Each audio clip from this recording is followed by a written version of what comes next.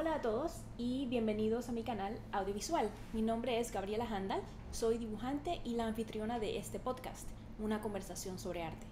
Durante estas conversaciones me embarco en la búsqueda del significado del arte y la belleza por medio de conversaciones con artistas de diferentes campos. El día de hoy eh, les ofrezco el episodio 25. Este episodio es con el escultor Max Leiva de Guatemala. Em, creo que es el primer escultor que voy a tener en el, eh, en el, en el podcast. Y eh, bueno, con esta introducción, eh, esta es, este es mi tercer intento de hacer una introducción por separado para luego ponerla antes de el episodio que van a ver eh, que, vendrá después de esta introducción y bueno vamos a ver qué tal nos va con este asunto. Eh, y bueno espero que disfruten el episodio. Recuerden eh, que si quieren brindar su apoyo a mi podcast, los invito a suscribirse a mi canal audiovisual, los invito a compartir el video, a darle like, a dejarme un comentario con este, sugerencias, eh, lo que sea que creen que pueda mejorar la calidad del de podcast. Y eh, bueno, muchas gracias por su tiempo y por su apoyo y nos vemos en un momentito. Espero que disfruten el episodio. Ok. Bueno, Max, bienvenido a mi podcast. Gracias por tu tiempo. Eh, bienvenido a mi podcast, una conversación sobre arte. Eres el episodio 25. Eh, cuéntale a las personas que verán y escucharán este episodio quién eres y qué haces. Gracias, Gabriela. Eh. Muchas gracias por la invitación, por haberme incluido en tu, en tu listado de en tu listado de artistas que estás eh, entrevistando y con este tema tan interesante. Eh, yo soy escultor guatemalteco, nacido en Guatemala. Me dedico a la escultura desde hace aproximadamente, ya llevaré unos 15 años, Ajá. tal vez un poco más, eh, más o menos, sí, y 15, 16 tal vez. Y también hago dibujo y grabado un poco, más grabado, me interesa más el grabado, pero el, lo que digamos, llena el 80% o más de mi tiempo es la escultura, uh -huh. ¿verdad? Ok, este, el grabado, ¿qué, qué tipo? Es un, es, un, es un, tipo de impresión, ¿no es cierto? Sí, eh, yo, a mí me gustan varias técnicas. Y, eh, el agua tinta, eh, agua fuerte es la que más trabajo. ¿verdad? ¿Esa es la que es con cobre? Que uno dibuja sobre cobre. Sí, no necesariamente. Puedes usar zinc, puedes usar ah. eh, latón, puedes usar cobre, puedes usar hasta hierro también, pero aquí tengo uno. Ajá. Una agua tinta. Ok. Pero sí, eh, es un medio que también puedes, también puedes eh, usar eh, otras técnicas que que, se, que, sí, que parecen agua fuerte, ¿no? como barniz blando y otras técnicas similares. Pues, o sea, hay, hay, muchas opciones, digamos que en el grabado. Uh -huh. Y tal vez me interesa porque el uso de, los, de las herramientas y de los medios son de alguna forma similares a algunos de los procesos de la escultura. Uh -huh. ¿Verdad? Porque la escultura en bronce, que es la que yo más... Eh, me he dedicado a hacer, digamos, o más he desarrollado en mi carrera. Eh, tiene entre algunos de sus procesos también tiene las patinas de bronce, ¿verdad? Lo que son las patinas o la coloración de los metales, que son oxidaciones realmente de metales, con, ya sea con, con ácidos o con, eh, o con óxidos, ¿ves? Okay. Y muchas veces son en frío, muchas veces son en caliente. Y el grabado, pues también tiene, tiene una parte muy similar, ¿no? Que es cuando los ácidos eh, eh, están comiéndose el metal, digamos que lo están como erosionando. ¿ves? Uh -huh.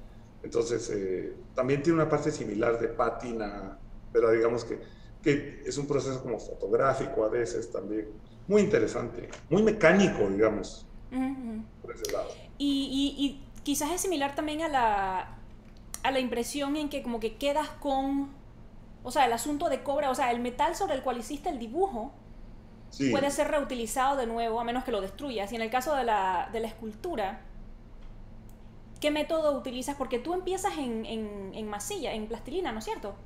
Yo comienzo generalmente con una estructura, ¿verdad? De, alambre o de hierro, de fierro, y, y luego utilizo yeso, eh, arcilla, clay, ¿verdad? O plastilina, plasticina también. Es más o menos lo mismo, que es oil clay, sería en inglés, ¿verdad? Eh, y, y esos son los materiales que generalmente uso para modelar mis esculturas, ¿verdad? Es una manera tradicional, digamos, de crear. Pero, y entonces luego para hacer el molde. Y después, una vez te concluyes esa parte, tienes que hacer un molde, exactamente, porque tienes que registrar esa forma en, en, molde, ¿verdad? Que tiene dos partes, por decir así, para hacerlo sencillo. A y B, ¿no? Y después... Eh, Después ya pasas al proceso de fundición en bronce, lo que es la cera perdida, todo esto es la cuestión técnica. Ya, entonces como que el, punto de, el punto en común que quería, que estaba intentando eh, hacer es que, eh, o sea, me imagino que si el molde queda, el molde de la escultura queda, puedes hacer más de una de... Claro que sí. ¿No es cierto? Como en el grabado, ¿no? Ajá, ajá, exacto. Tienes la placa, como tienes la placa, tienes el registro ¿verdad? Y, ese es tu registro y puedes hacer, no sé, dependiendo la calidad mm. y el tipo de técnica que has utilizado, así puedes eh, eh, imprimir eh, las, los grabados que desees, ¿verdad? Pruebas de autor, pruebas de estado, antes de que la placa comience a estar bien. En el caso del molde también puedes hacer pruebas de estado, pero no se usa así. ¿Verdad? Pero sí puedes hacer, dependiendo la calidad del molde, porque puedes hacer también un molde perdido, un molde que solo te sirve para una sola copia. y, y, luego, eh, o puedes hacer un molde que, que, generalmente eso es lo que haces, ¿verdad? Hoy en día haces un molde que, que el hule te puede servir para 100 copias. Entonces puedes reproducirlo cuantas veces desees, mientras que el molde esté, esté bueno, pero también tienes tus originales que te van a servir de referencia para seguir haciendo más. Entonces, lo que, lo que sí puedes hacer es, una vez salen los bronces o cuando tienes la cera en las manos, puedes modificar esa cera, ¿verdad? Podrías, por decirte algo, añadirle más pelo, cambiarle la nariz, hacerle el cuello más largo y no hacerle un molde a ese cambio. Entonces logras eh, digamos que hacer piezas únicas dentro de la serie, ¿verdad? Que serían como variaciones. Y para eso hay muchas eh, maneras de, digamos, de distinguir, ¿verdad? cómo hacen las copias, si son ediciones, si son series, si son eh, analogías, etcétera, etcétera. Es todo un mundo eso de, de la reproducción de, tu, de los originales, ¿no? Sin duda alguna. Ok, entonces, este, mencionaste eh, los, otros dos medios que utilizas de vez en cuando, em, la, impresión y el dibujo. Este, el grabado, el dibujo, siempre como medio. Digamos que el dibujo siempre como medio de, por decirte como tal vez un músico que usa el piano para escribir, ¿no? Como para... El dibujo. Exactamente, el dibujo vendría siempre como un instrumento, ves que utilizo para eh, bosquejar, ¿verdad? Para bocetar mis ideas, ¿verdad? Entonces eh, me sirve como un apoyo, ves cuando, te, cuando surge una idea, tal vez estoy modelando y en ese, y en ese, y, y en ese instante surge una idea, ves de, de tal vez una solución, ¿verdad? De una posibilidad de una, de una postura distinta o de otra idea entonces trato de dibujarla, pero de manera como de fijar la idea en el papel, ¿ves? Para que no se me olvide, ¿ves? Para tenerla en cuenta. Entonces voy creando una especie como de, de cuadernos de bocetos que tienen miles de apuntes, ¿ves? Miles de, miles de, sí, de como guías, ¿ves? Como apuntes de ideas y después voy revisando, ¿ves? Vuelvo a ellos y, y voy creando este lenguaje, ¿ves? Que trato de, de que sea la fuente de, digamos que, de un apoyo para lo que hago. ¿ves? Ok, entonces, en ese caso, si el dibujo, eh, o sea, en tu, en tu práctica artística, el dibujo tiene la labor como de, tomar notas y bocetear ideas y resolver eh, cualquier, eh, estás tratando de resolver una posición, lo que sea, ¿qué labor en ese caso cumple el grabado en tu trabajo? O sea, ¿tiene alguna labor así como de, complementar tu práctica este, escultórica? O sea, ¿qué, ¿por qué crees que, que utilizas a veces el grabado? El grabado es totalmente distinto, porque el grabado es, eh, se parece más bien a cuando, cuando hago el dibujo eh, para desarrollar el dibujo y su potencial, digamos, en, dentro de mi estilo. ¿Ves? Como siempre tratando de buscar algo, pero no de, no de hacer una escultura a partir de él. ¿Verdad? Es, es otro fin. Igual que el grabado. El grabado, cuando haces un grabado, generalmente tienes que... Puedes trabajar muy espontáneamente, pero, pero en grabado es mejor tener una estructura a la, hora de, comenzarlo al menos, ¿ves? Porque tú barnizas la placa y entonces con ese, a ese barniz le remueves con una, una gubia, generalmente puede ser una gubia una herramienta punzante, ¿ves? Y con eso haces, plasmas tu dibujo ahí. Entonces, es, en el caso del grabado es puramente el fin, es el grabado. ¿ves? No es crear otra cosa a partir de él. Es, es más bien dibujar y, y, crear la placa y después hacer lo mejor posible. Y a ese sería el fin. ¿ves? No... Ok, pero entonces em, supongo que mi, mi curiosidad es, este, ¿por qué en ese caso utilizas el grabado? O sea, ¿qué, qué, sientes que puedes decir con el grabado que no puedes decir o explorar o lo que sea por medio de la escultura? Eh, pues es una pregunta interesante. Realmente, eh, bueno, en, en, la escuela, ves, cuando estudiaba, eh, las dos materias que más me, atraje, me, atrajeron mi, atención fue el grabado y la escultura. ¿verdad? Yo, yo inicié a estudiar artes plásticas con la idea de, de ser dibujante, ilustrador, ¿ves? Ajá. No, pretendía ser escultor, eh, pretendía ser ilustrador, ¿ves? Y, dedicarme a la ilustración. Cuando descubrí la escultura, obviamente me apasionó mucho más y encontré que me adaptaba, digamos que se adaptaba mejor a mis capacidades, ¿ves? Y tal vez a mi personalidad. Y también el grabado fue una de esas técnicas que me atrajo mucho encuentro, como te había dicho, eh, no es que sea similar, pero que encuentro que su mono, es monocromo por lo general, es como te dije la técnica de que sí puedes usar colores, pero generalmente el grabado es monocromo y digamos que eh, yo creo que tiendo más a eso, ¿ves? A, esa, a una monocromía en el trabajo. Me identifico más con eso, el color no, no siento que sea mucho lo mío. Entonces, eh, yo creo que por eso me ajusté más también grabado y por lo que te decía también, la similitud de materiales, que hay muchos procesos similares, digamos.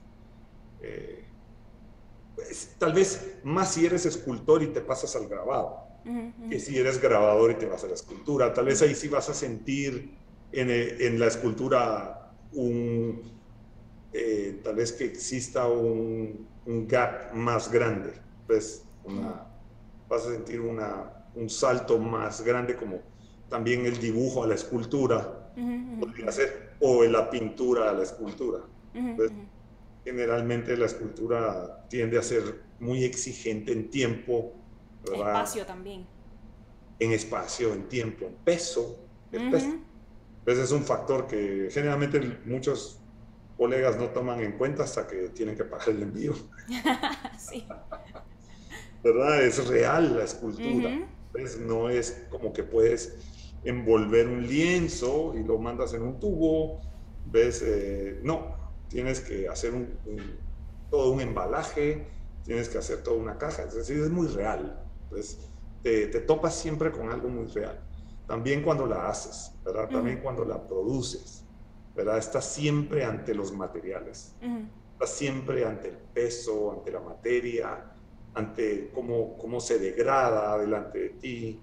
Si estás trabajando barro, tienes que cuidarlo que no se seque, ¿verdad? Tienes que tener una bodega donde tener el barro, no puedes ir a sacarlo de la, de la tierra, y, entonces tienes que tener tus bodegas, eh, etcétera, etcétera. Entonces ese paso generalmente el artista que trabaja en un caballete o que estás frente a una mesa, ¿ves? Eh, de dibujo en su taller pequeño ¿ves? Y, y, en su espacio íntimo creativo, porque eso sí tiene, eh, digamos que estas eh, otras eh, posibilidades de crear son tal vez mucho más íntimas en ese aspecto, más directas con el plano creativo. Ves, en la escultura tienes una parte técnica donde te sales de ese espacio y tienes que dejarlo para poder eh, obtener el resultado final. pues, entonces, tal vez ese sea el punto donde más te puede intimidar el salirte de tu, de tu espacio del caballete, ¿ves? Es tal vez el gran, la gran diferencia que existe, ¿verdad? Sí. Y sabes que también, eh, ahora que estabas hablando del espacio que uno requiere para trabajar con escultura, eso también me hace, me hace o sea, Mm, se me ocurre, ahora que estamos hablando al respecto, que también es una similitud con el grabado, porque en grabado uno necesita un taller. ¿No? Uno grabado necesita... un taller. El grabado, por eso te decía, el grabado necesitas un tórculo. Puedes también hacer silografías y hacer las impresiones en tu casa, ves en casa, o simplemente hay muchas maneras de imprimir presionando, ¿ves? Pero pero si quieres obtener más resultados, y, generalmente el grabador tiende a ser un experimentador también mm. de posibilidades técnicas y texturas, ¿ves? Y etcétera. Utilizando madera, utilizando eh, eh, lino. Lino, eh, ¿ves? El, muchas pues. otras sí, medios, entonces obviamente pues necesita, caen lo mismo, como tú dices, necesita las pilas para guardar los químicos, necesita mucha agua, mm. necesita eh, los tórculos, ¿ves? El eh, tórculo es el asunto que, aprieta el papel con... Ya. Exactamente. Ya, ok. No, lo que pasa es que, es que pues, eh, por, la pregunta de, por qué, por qué crees que, te llamó la atención el grabado y, por, o sea, por qué lo haces a menudo, entonces está eh, eh, escuchándote hablar al respecto de la escultura y del grabado, eh, y bueno, escuchándote hablar de, sobre la escultura, me recordó al, grabado, en, o sea, tiene estas cosas en común y entonces tiene sentido de que si la escultura te llama mucho la atención, por esto de, o sea, como que son muy físicos los dos. Claro. O sea, eh, digo, un, y, obviamente uno puede sentarse a hacer una escultura chiquitita, así mínima, minúscula y todo lo demás, pero eh, por lo general la escultura sin duda alguna ocupa mucho espacio, requiere un montón de material, uno tiene que estar parado, uno tiene que dar la vuelta alrededor del asunto, este, entonces como que es muy activo y, entonces, o sea, como que el, el acto de, de constantemente estar resolviendo problemas en eh, uno mentalmente, eh, y estar buscando recursos y que, ah, ¿qué puedo hacer ahora? Necesito esto para hacer tal cosa. Entonces como que eso está presente de una forma más activa en cierta forma cuando uno está haciendo escultura. Y, y, con todo y que la, el grabado y las técnicas de impresión son, los pasos son un poco más repetitivos en cierta forma. Eh, y los pasos son un poco más específicos quizás. De todas maneras está ese acto físico de estar parado. O sea, por lo menos cuando yo hice eh, litografía, eh, por ejemplo, combinar la, tinta para luego imprimir, uno tiene que estar parado con un rodillo ahí adelante y atrás este, para, ir combinándola. Y, o sea, entonces como que es, un, es hacer ejercicio en cierta forma, como quien levanta pesas o algo, o quien, no, algo por el estilo, ¿no?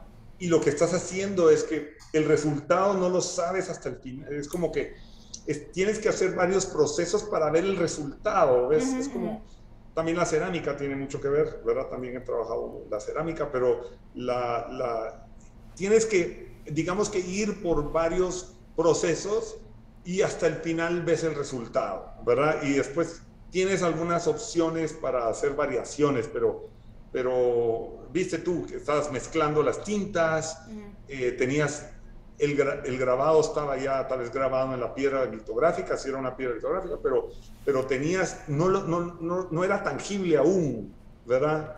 Y todos estos procesos eh, influyen mucho en el resultado, ¿verdad? Y la escultura es similar, porque ojalá pudieras, no cuando estás tallando, cuando estás tallando sí tienes todo el control. Cuando haces una talla en piedra, por ejemplo, entonces sí tú vas a tener el control de la obra final porque no involucra moldes ni otros procesos. Entonces, eh, digamos que ahí es más directo, mm. más, eh, ahí puedes ir al resultado final más directamente, no en el bronce. ¿verdad? Por eso decían que Miguel Ángel, eh, Bonarotti no le gustaba el bronce, ¿ves? Porque perdía el control y obviamente en esos tiempos donde no existía la soldadura y, ¿verdad? Entonces Sí, pues ahí así, erraste, erraste. digamos que él podía pedir su impronta, ¿verdad? Su impronta eh, tan fiel, ¿verdad? No, no, no, le hacía gracia perder eso, posiblemente. Pues, mm. eh, pero sí, eh, ahí tienes razón con lo que dices. te apartas un poco de, de, tu caballete o de tu medio donde puedes crear libremente y en tu ambiente controlado Mm. ¿verdad? No es tanto así en el grabado y, menos en la escultura, ¿verdad? Este, ¿Has intentado, a través de tu carrera de escultor, has intentado, por qué, o sea, cómo terminaste con la, ¿cómo se llama? Con el eh, cobre, ¿es que dijiste? Con el bronce. Con el bronce. Este, me imagino que has probado esculpir en, en mármol, otras cosas. O sea, ¿por qué el, ¿Por qué te has quedado con el, con el bronce? Fíjate, mira, fue una inquietud que tuve desde, desde que estudiaba, porque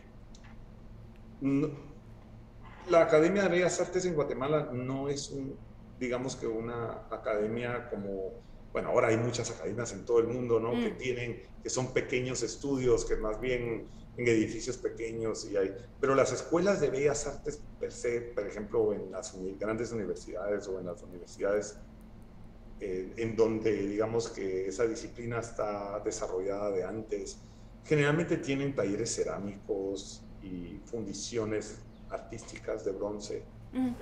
Pero en Guatemala no, no me, el lugar donde yo estudié no me ofrecía esa posibilidad. Y entonces tal vez eso despertó una curiosidad en mí de, conocer del material. y como no era fácil acceder a ellas, ¿ves? a estos talleres artísticos de fundición, entonces se me hizo casi una cuestión obsesiva, ¿ves? De, entender el proceso. Hasta que recibí una beca para estudiar en Bangkok y, y de ahí viajé a Tailandia y de ahí fue ahí donde aprendí la fundición en bronce, y los procesos técnicos de la, del proceso. No, los, no trabajo yo personalmente las fundiciones ahora, ¿ves? Pero digamos que lo aprendí, ¿ves? Lo aprendí y de una manera muy tradicional que se, que se utilizaba en Asia hace, hace cientos de, digamos que miles de años casi. Entonces aprendí con una técnica, como te digo, muy tradicional y que fue una experiencia muy especial en mi carrera como estudiante. Me pues. imagino. sí. Y, y, me fui quedando con, la, con los procesos y las técnicas. Desde al final eh, hice tallas y cosas, pero escogí siempre más la posibilidad de poder reproducir. Y como te decía, de poder reproducir y poder hacer variantes en el proceso de, de los originales. Pues lo vi mucho más viable también para hacer de esto una carrera eh, autosostenible, ¿ves? En la cual yo podía eh, crecer y desarrollarme, ¿verdad? Porque creo que es una parte importante. Claro, claro. Entonces sí lo vi mucho más viable esto. Ok, pero, pero, ok, entonces en, en ese caso, eh, ¿por qué crees que todo este procedimiento de utilizar el bronce para hacer las esculturas ¿por qué no te hizo huir? o sea, eh, saber, eh, o sea, porque es, o sea, tengo, no, yo no sé nada del asunto, pero yo me imagino que si el arte en general es caro, el, el arte en dos dimensiones es caro, o sea, obtener los materiales, o puede ser caro por, por lo menos, o sea, y, o sea, el bronce y luego soldar y todo, o sea, todas estas cosas son, o sea, yo me imagino que es, muy caro, entonces... Eh, Digamos que son, que son eh, sí, que son elementos que, que disuasores, digamos, para que no Ajá, te exacto. exacto. ser como disuasores para, ¿sabes qué? No, no te metas a este campo porque te va Ajá, exacto.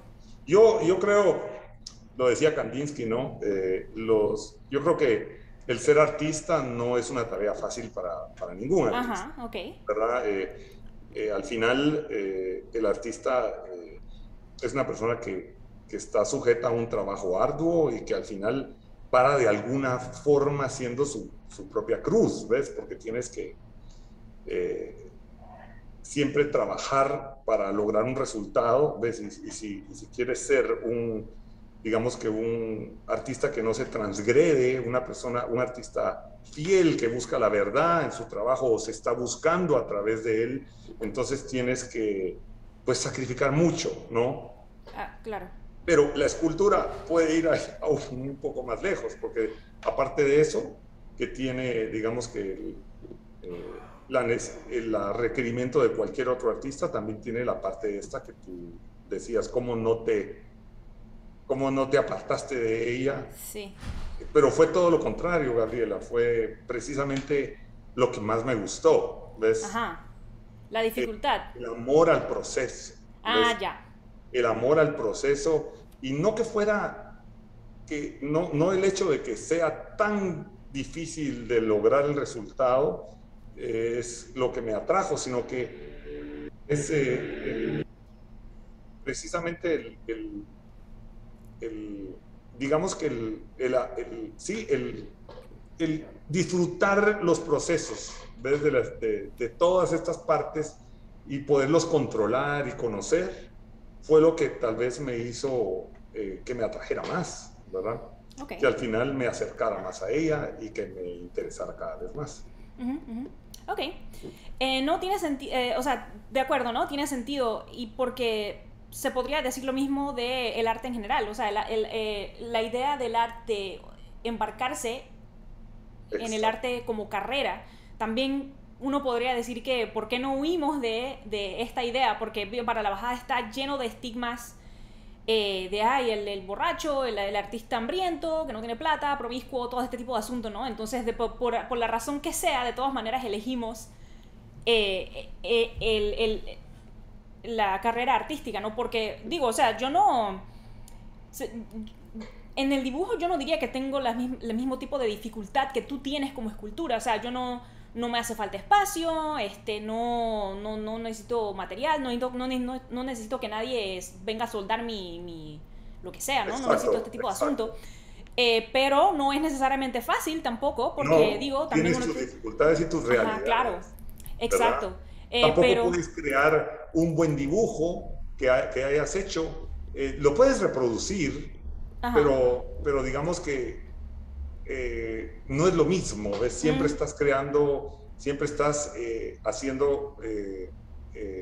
las esculturas también son originales, aunque tengan copias, pero tú tienes que volver a dibujar y volver a dibujar. sí, pues si quiero hacer una reproducción, exacto. Exacto, no tienes un, no tienes, no, no, no hay dónde hacer un registro, ¿ves? Ahora hay muchos métodos de impresión, etcétera, y obviamente sí, pero no es lo mismo, ¿verdad? Y tienes, cada quien carga su cruz, ¿ves? Eh, exacto, exacto. Su, en este, en este, en estas disciplinas, ¿ves? En todo el mundo del arte es así, ¿verdad? Y, y los coleccionistas, obviamente, como tú dices, también llevas el estigma de que te ponen muchas veces los mismos coleccionistas que prefieren, por cierto, las obras colgadas en su sala y no al artista sentado en su sala. Ajá. ¿Verdad? Sí, pues. Eh, ok. Por lo mismo, pues sí. Sí, pues porque por, por, el estigma del artista borracho y sin que está vive en la calle, probablemente así todo estilo Van Gogh quizás.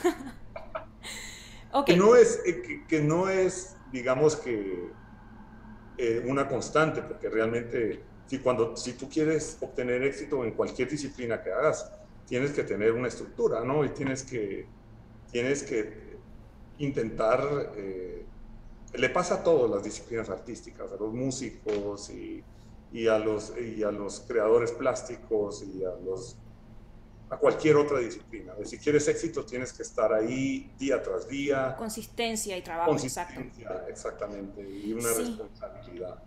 lo contrario, no vas a obtener nada. Sabes que justamente estaba hablando respecto del arte como trabajo, casi como, o sea, como cualquier otro trabajo. Eh, en el episodio anterior, porque estaba también quejándome un poquito del estigma, eh, del estereotipo del artista borracho y todo este tipo de asunto. Y este, los artistas que, que trabajaron muy duro, y digo, para la bajada Van Gogh también trabajaba muy duro, o sea, él pintaba todos los días, todo el día, él era súper consistente. Él, él, era, o sea, estaba muy comprometido con su trabajo, con, eh, de que no vendía las cosas o lo que sea, o sea, eh, es prácticamente irrelevante, porque lo que cuenta es que él todos los días estaba comprometido a pintar, dibujar todos los días, todo el día. y bueno, similarmente otros artistas también muy, muy exitosos, este este Leonardo da Vinci, Miguel Ángel, eh, Rafael, todos eran artistas exitosos que, o sea, por medio de, sus, de su creatividad, por medio de su trabajo artístico, efectivamente pudieron hacer su vida, este, pudieron vender su trabajo artístico, su trabajo, su trabajo creativo y vivir por medio de su, de su arte. Pero no sé, de verdad no entiendo, no, no he podido descifrar hasta ahora, tampoco no he leído así tantísima eh, historia del arte, para descifrar por qué el estigma el, estereotipo del artista hambriento persiste, porque también ese, ese eh, em, estereotipo tiene muchísimo tiempo también, de siglos y siglos. Yo creo que, yo creo que mira, es lo que te decía, eh, eh, es que el artista, es que aparte del trabajo, Gabriela, está también la, está también la parte de, de, la investigación que hay, ¿verdad? Porque si volvemos a, los, los eh, digamos que los impresionistas, y si tú ves, no solo era el trabajo diario, sino que también era descubrir, ¿ves? Mm. Experimentar. Y eso, es experimentar en el lienzo, primero está en la cabeza, mm, ¿ves? Entonces están todos estos cuestionamientos de los cuales tienes que lidiar día a día mm. con realidades que tal vez están solamente dentro de ti, que nadie las comprende. Entonces pasas como un incomprendido, como un inútil, etcétera, ¿verdad? Como una persona que no, que, nadie la, comprende y entonces paras siendo un paria al final, sí. porque no te pareces al anterior o no llenas, digamos que el requisito de, digamos, del sector para el cual arte es arte en ese momento, mm. ¿verdad?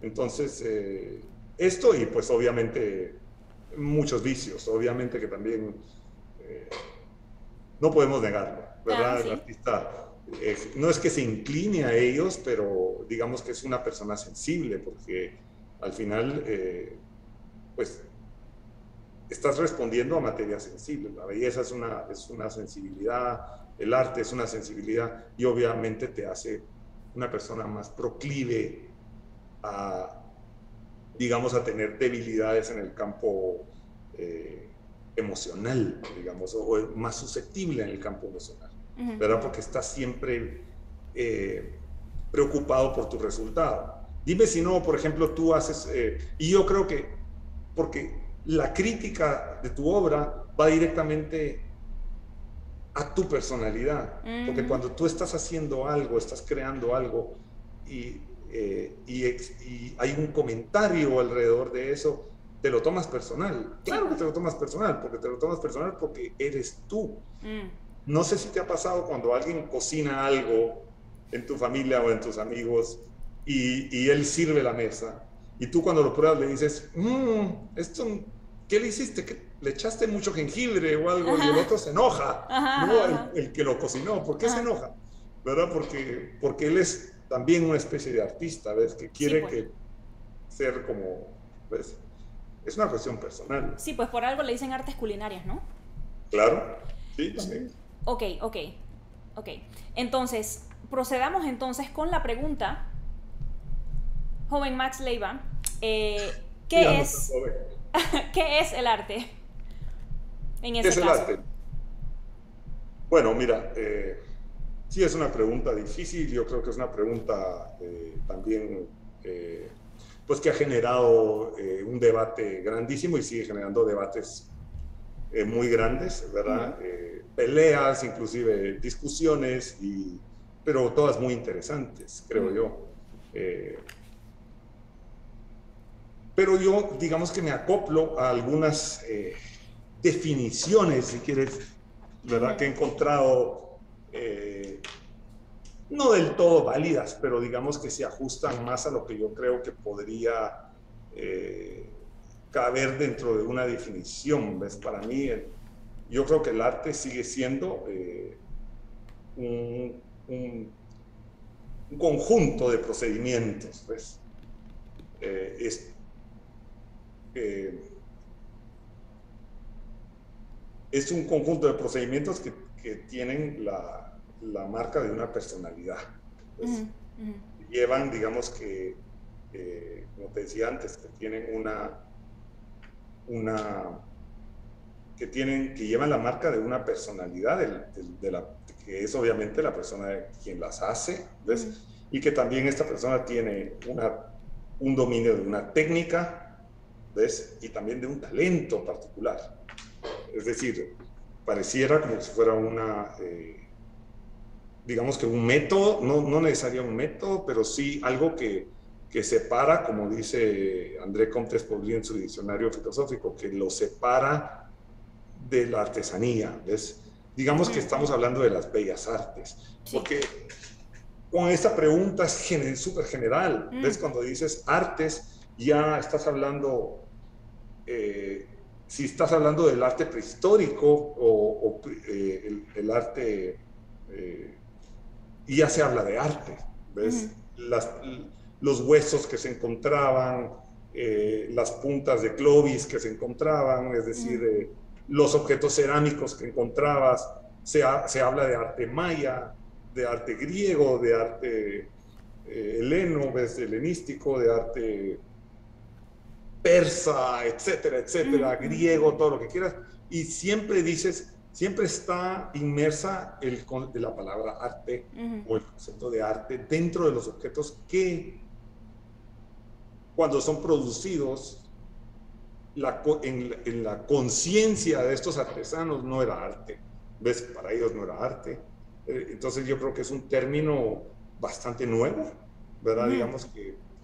Eh, y cada vez ha cobrado relevancia mucho más, eh, más relevancia, ¿ves? ha ido cobrando cada vez más relevancia y, más debate, etcétera, etcétera. Pero eh,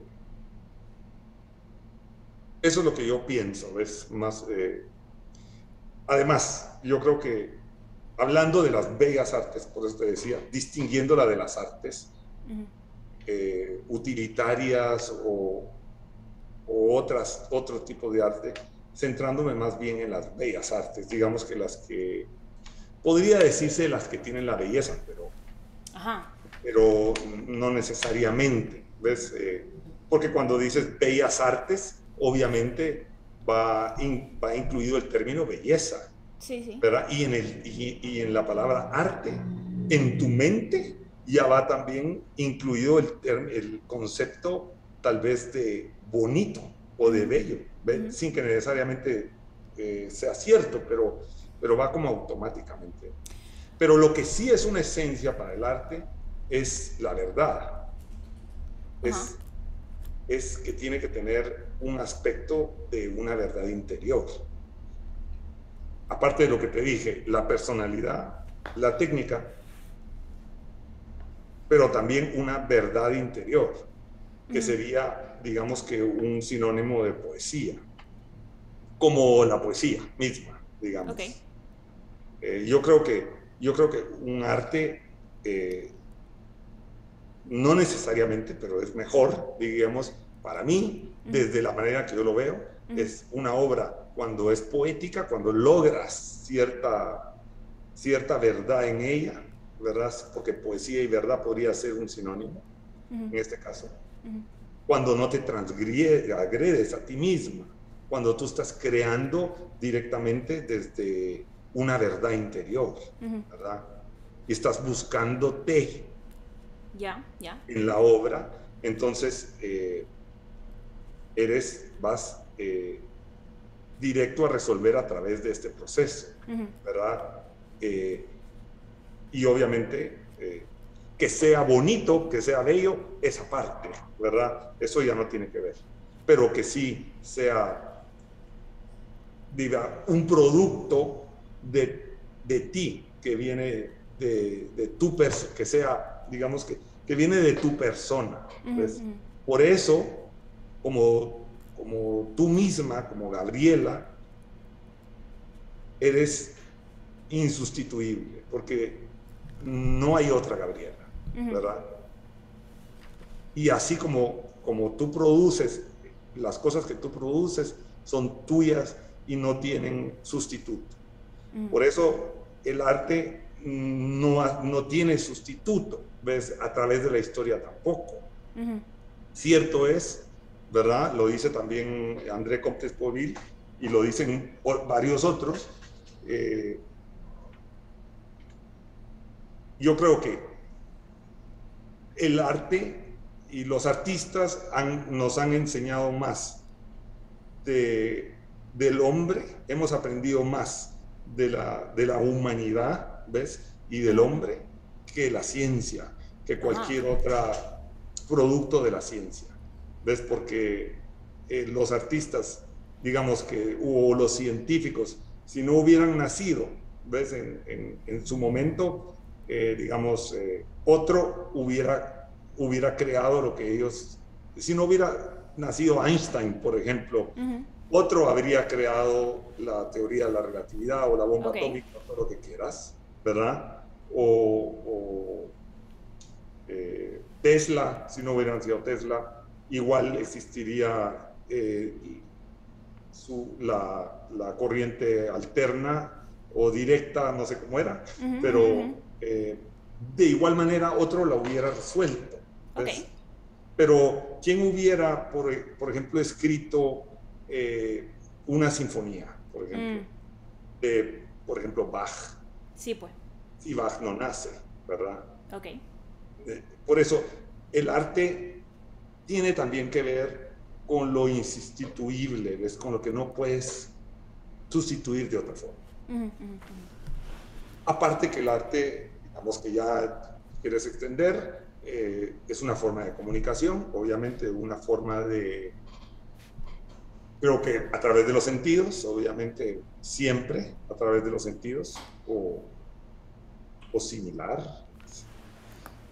Y obviamente, eh,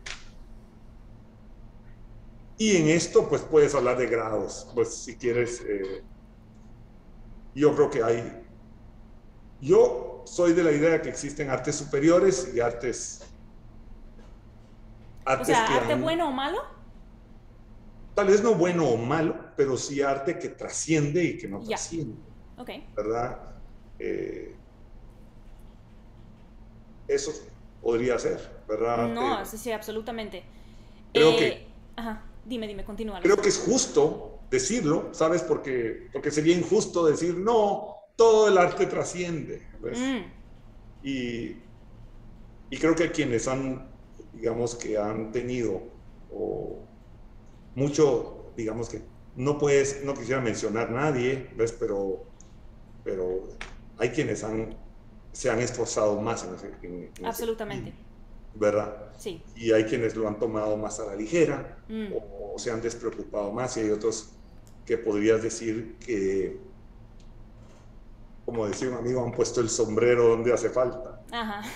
Han logrado, es en esto que hablábamos de, de la búsqueda mm. eh, insaciable de una verdad, ¿verdad? Eh, tratando de, cambiar las cosas establecidas, etc. Todos estos esfuerzos obviamente tienen, eh, son meritorios. Pues, absolutamente. Pero en eso, no sé qué piensas tú. Pero... No, no, absolutamente de acuerdo. O sea, yo, yo sin asco, yo, digo, o sea, es mi opinión de que efectivamente hay arte que es basura, efectivamente. eh, o sea, a mí yo no tengo ningún problema con decir este, este, este asunto y, y, o sea, yo tampoco, tampoco no digo quiénes son porque no quiero darles tiempo aire a este tipo de asunto, pero sin duda alguna hay personas, hay muchos artistas que se llaman artistas que lo que hacen es mofarse de eh, el arte porque bueno, empezamos con Marcel Duchamp y ya todo el mundo quiere impresionar y es que el, la impresión y lo que sea, entonces como que está, quieren dar esa impresión una y otra vez para mofarse nuevamente, pero a mí me gusta mucho lo que dijiste de eh, lo que es el arte en tu opinión, de el, este, proceso creativo que habla sobre, una, sobre algo que es verdadero para el artista que está produciendo el trabajo artístico. Y para mí, para mí eso cubre eh, dos partes muy importantes de el proceso artístico, que es eh, la parte física, o sea, que estás haciendo el asunto, ya sea dibujando, es la escultura, lo que sea, pero entonces la parte de buscar algo verdadero, o sea, de tratar de decir algo verdadero, para mí también habla en ese caso de la parte que quizás no tenemos evidencia física necesariamente para, o sea, porque está dentro de uno. Eh, es como que en cierta, o sea, por lo menos a mí lo que me hizo pensar para mí en ese caso es cuando yo estoy dibujando lo que quiero dibujar, o sea, porque genuinamente quiero dibujar algo, versus cuando eh, estoy dibujando algo porque sé que el tema vende, por ejemplo, se vende. O sea, es, es, como que esa distinción me hizo, pensar en, me hizo pensar en esa distinción, la descripción que estabas dando. Exactamente cuando no te transgredes, cuando, no, cuando estás siendo sincera. Ajá. Ah, por eso yo te hablaba de, de poesía y verdad. Al final, el, bueno, eh, exacto, tú, tú, eh, porque lo que estás haciendo es eh, buscándote, ¿ves? Estás encontrando tu verdad interna, ¿verdad? Y tu interés no es otro que el resultado eh, desinteresado también de, esto, ¿verdad? Resultado eh, desinteresado.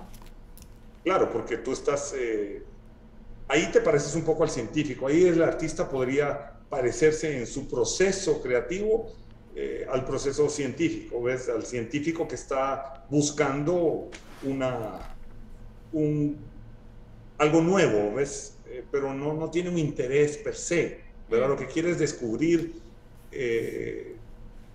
Obviamente tal vez le están pagando o tal vez no, ¿verdad? Pero en su interior, como científico, como lo que está buscando es una solución.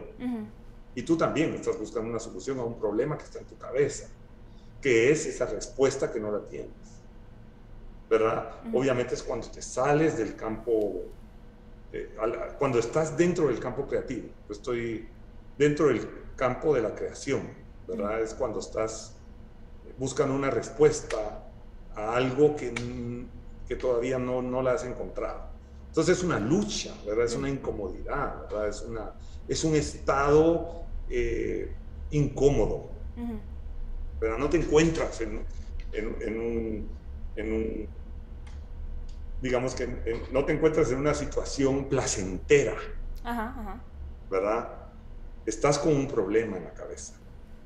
Estás con esta mosquita que te da vuelta y no, te deja estar conforme.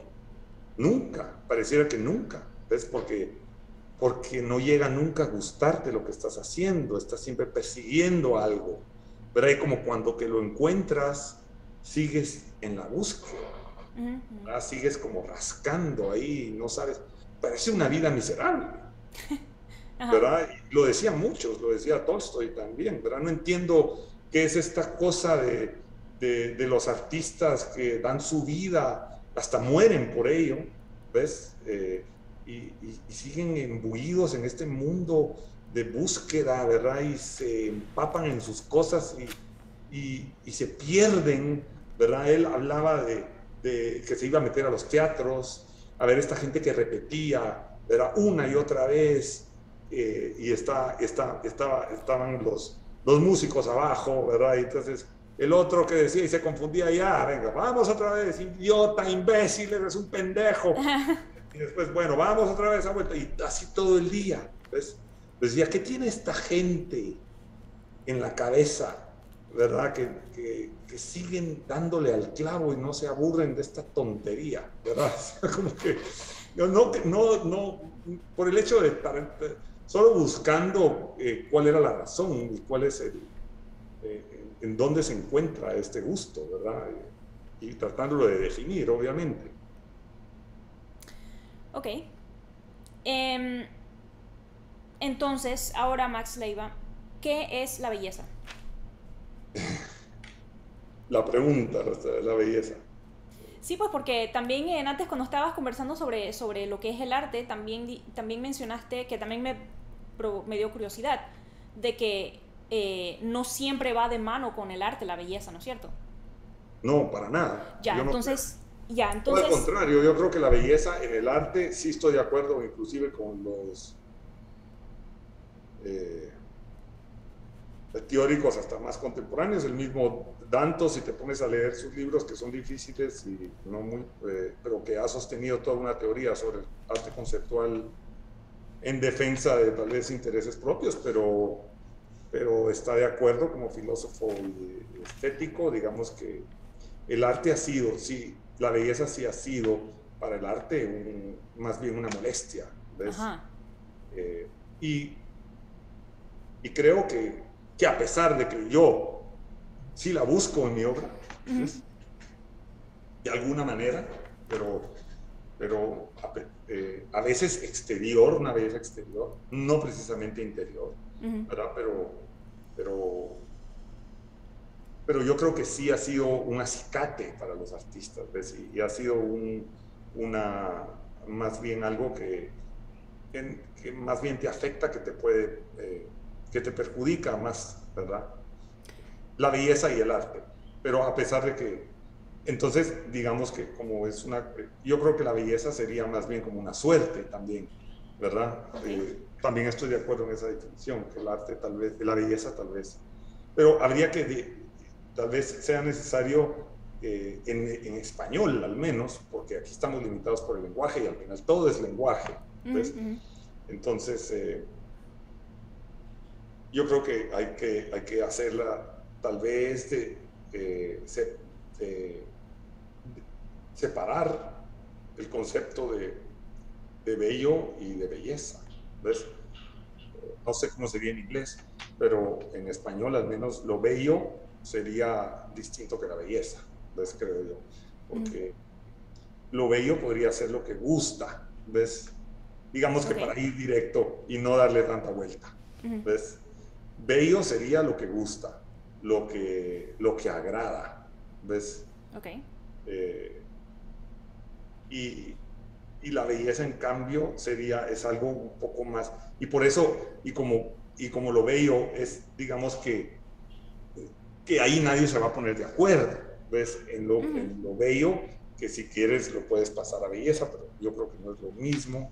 O, sublimi, o, la sublimidad, que también sería algo eh, más alto que la belleza, ¿verdad? Lo sublime. Lo sublime, Lo sublime. Pero digamos que el concepto de bello sería, sería tal vez más difícil de, muy difícil de definir, ¿verdad? Porque, porque su campo es muy amplio. ¿verdad?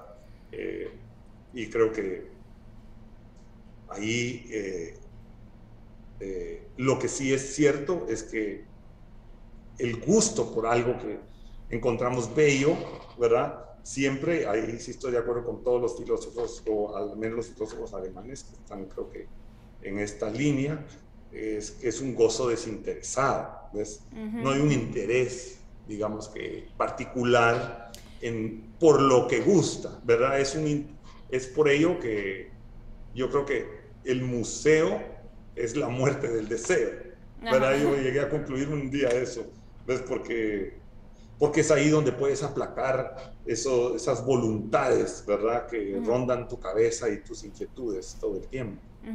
Por eso tal vez eh, se entiende el interés por muchas sociedades de, de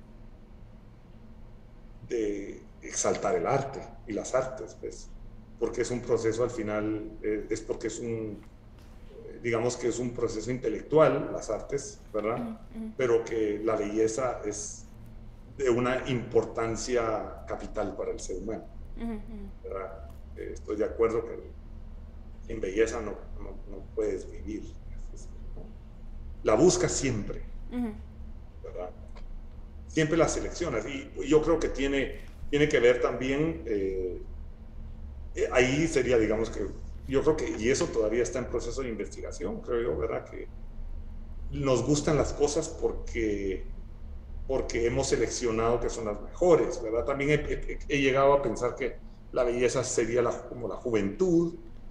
Podría decirse que, que, la juventud también es un sinónimo de belleza, porque tú escogerías, digamos que escoges una fruta que está madura y no aquella que ya está podrida, ¿verdad? Eh, generalmente el, la persona joven, digamos que sería ideal, ¿verdad? Y, la vejez comienza a tener eh, rasgos de recuerdos de su juventud, etcétera. Por algo es, ¿no? Sí, pues. Porque encuentras ahí tus días en tus tiempos mozos, digamos, cuando eras joven y cuando hacías y muestras las fotos, etcétera, etcétera. Podría ser también, ¿verdad? Entonces que lo bello sea eso, un sinónimo de juventud también. Eh, pero es muy difícil de definir, Gabriela. Eh, a mí, me, yo no soy un teórico, y, ¿verdad? Y, te estoy sincero, cuando estoy trabajando no pienso en eso. Yo no sé si tú piensas en ello, pero yo no. Yo cuando... Yo, yo, yo creo que de repente, basada en las, la separación que hiciste recién entre bello, que, o sea, lo, yo entendí que es como lo bonito, atractivo, versus eh, belleza, que es como que más que la apariencia física de algo. ¿no? Eh, en ese caso, no sé, mm, quizás, quizás, este, eh, estabas diciendo, tú estabas diciendo que no piensas en eso, en esto de la belleza cuando estás haciendo tu trabajo, pero piensas en lo bello, lo bonito. ¿Tampoco? ¿Sí, no?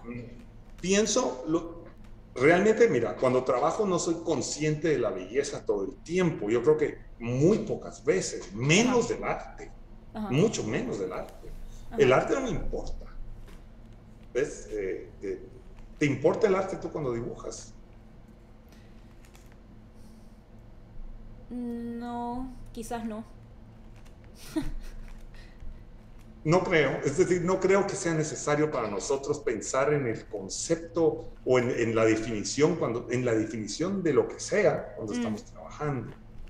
Cuando estamos trabajando estamos sintiendo, estamos concentrados, estamos, estamos inmersos en, un, ejercicio, en un proceso, ¿ves? En una, en un, en un, eh, estamos imbuidos en algo que, es, que exige muchísimo de nosotros.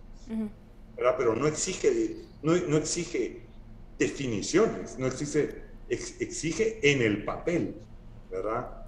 Eh, lo que exige el dominio de los materiales, ¿verdad? Eh, por eso la técnica, ¿verdad? Eh, y obviamente, ¿podrías decir tú que hay dibujos que te gustan más que otros?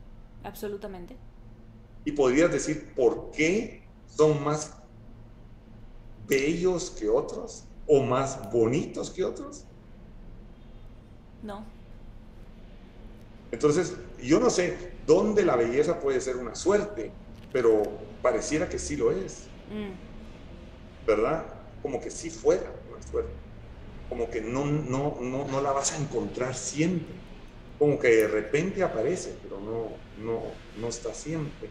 pero, pero no estás buscando Tal vez la estás buscando inconscientemente, porque si tuviéramos la capacidad, eh, no se piensa, vámonos a algo un poco más, eh, más eh, menos abstracto y tal vez algo que, que tal vez los que escuchen o puedan entenderlo de manera más directa. Digamos, si tú tuvieras la capacidad como de crear siempre una genialidad en tus dibujos, cada dibujo que hagas va a ser de ahora en adelante un éxito total. O digamos, eh, si pones a un músico, por ejemplo, X que, que, te guste, ves que en un long play o en un disco tiene una canción que representa todo su disco. Y de esta, si te vas a, a, una aplicación en, en, las redes o algo así, la vas a ver que tiene la mayor cantidad de oyentes. Imagínate que él pudiera reproducir esa que tiene 11 millones de, de, oyentes o 30 o 50 millones en todas sus canciones. Ajá. ¿Ves hacia dónde voy? ¿Ves que, que si tú pudieras tener la capacidad de crear una belleza cada vez que, que haces algo, o una, algo que gusta, pero gusta casi universalmente, porque hay quienes dicen que la belleza es universal, ¿verdad? Que la belleza no está en los ojos del que la ve. Beauty is not in the eye of the beholder, ¿verdad? Hay quienes eh, guardan esa, creen en esa teoría. Entonces, eh, digamos que, eh, entonces, imagínate, pues solo para, para imaginarte, podrías creer, puedes creer que exista algo así, es difícil, es muy raro que haya un genio que pueda reproducir tanto éxito, digamos, éxito. Sí, pues. ¿Ves? Entonces, eh, es ahí donde yo creo que, donde, donde creo que sí hay, no sé, no sé por qué habíamos comenzado a hablar de esto, ya me perdí, yo no. No, pero, pero me gusta bastante el ejercicio mental de, em, de, que, de si tuviera el poder de, de cada, vez, cada vez que hago un dibujo, bueno, quizás en tu caso cada vez que haces una escultura, de que cada escultura sea lo más, o sea, la más hermosa, la más atractiva, la de seguro, seguro se va a vender, o sea, lo que, la característica que sea. Y, o sea, cuando yo hago un dibujo, o sea, el propósito, uno de los propósitos, por lo menos cuando yo estoy haciendo un dibujo, es que el dibujo me guste. O sea, que me guste, que, o sea, que a mí me guste. O sea, siempre que hago un dibujo, el dibujo terminado siempre me gusta. O sea, que si yo, que si yo podría costear el dibujo, eh, si lo eh, de, estuviera de compra o lo que sea, o sea, quisiera vivir con, el dibujo, ajá, viviría con él, exacto, pero, pero, cuando ya he hecho varios dibujos, o sea, cuando he acumulado varios dibujos, surge una jerarquía de este dibujo me gusta más. Ahora comparado con este dibujo nuevo, por ejemplo, que está hermoso, este dibujo anterior ya no me enloquece tanto. Entonces surge una jerarquía y efectivamente con el ejemplo de la música también, este, hay álbumes de música que todas las canciones son excelentes y tal, pero de todas maneras hay una, una u otra, o sea, que me gusta más y, o sea, igual surge una jerarquía de mi canción favorita a la menos favorita, ¿no? Entonces, em, quizás, quizás con, es, con eso en mente puede, puede emerger también una distinción de bello, de bello versus belleza, porque, porque quizás...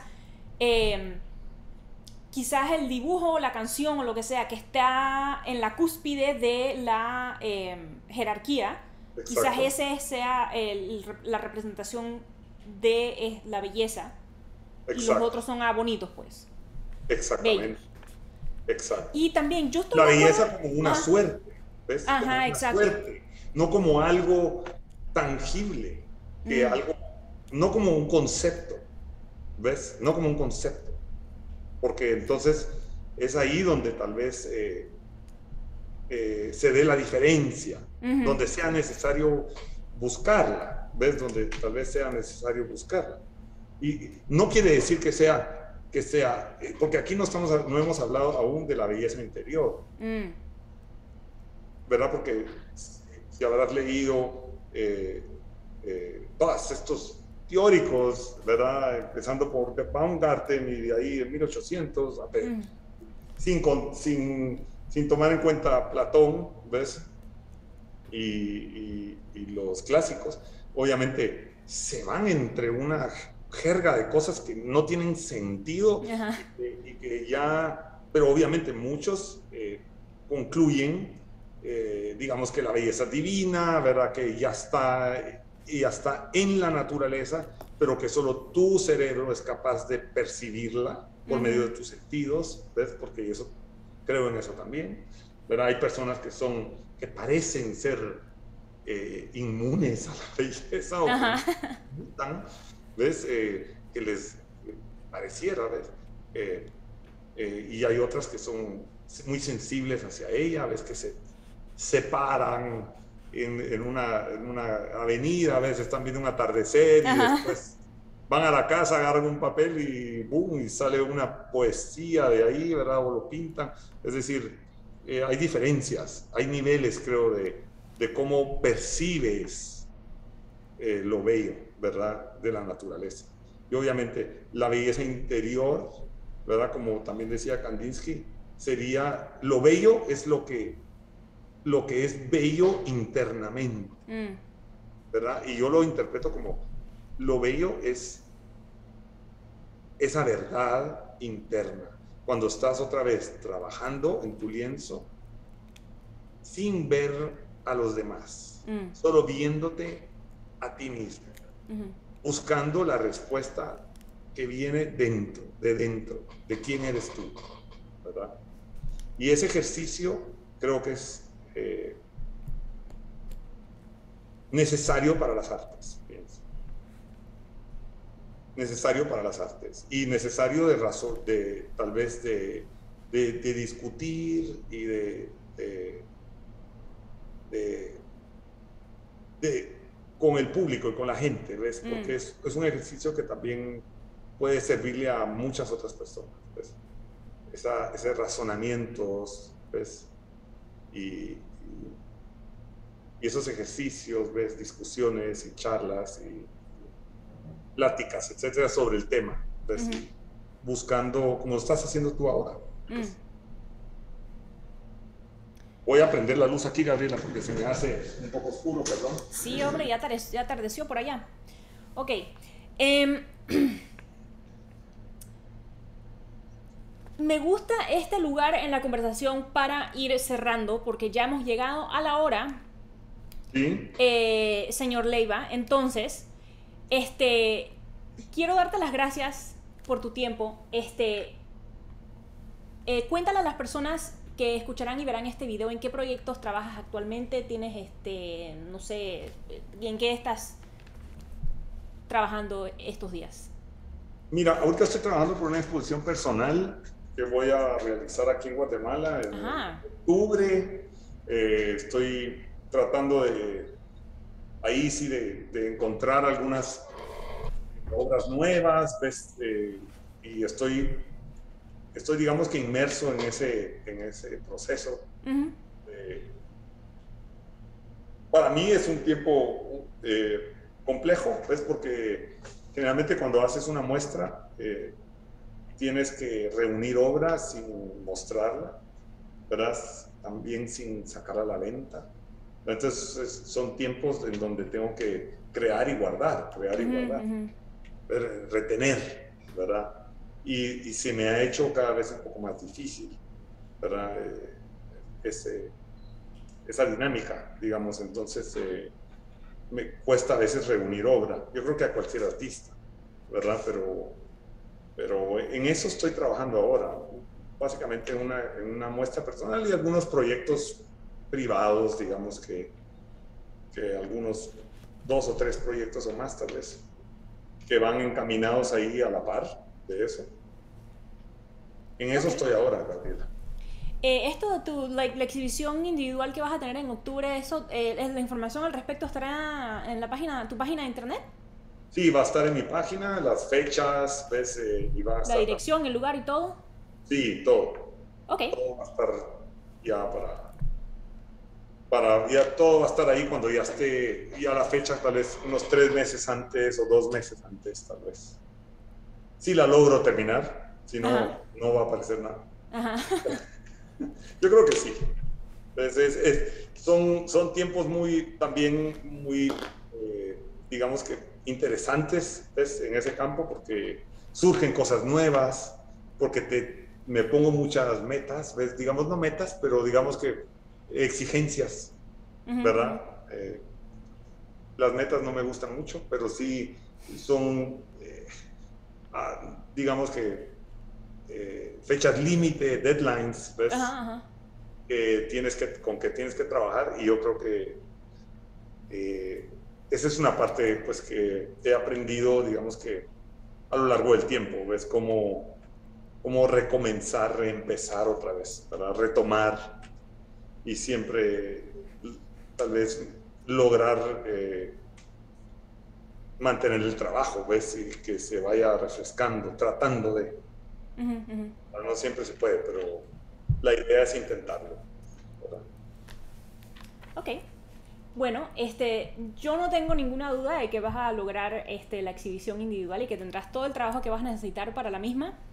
Eh, te deseo mucha suerte con eso de todas maneras, pero, o sea, tú eres tan productivo que sin duda alguna vas a, vas a acumular todo el trabajo necesario para, para la Gracias, Gabriela, te agradezco mucho.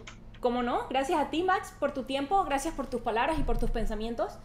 Eh, gracias a todos por su atención. Los invito a dejarnos saber a mí y a Max qué les pareció esta conversación en los comentarios. También los invito a suscribirse a este canal, darle me gusta a este video y a compartirlo. Si quieren brindar su apoyo a Max, a mí, a este podcast o a los tres, todos los enlaces correspondientes estarán en la descripción y gracias a todos por escuchar y ver y nos vemos hasta la próxima. Hasta luego.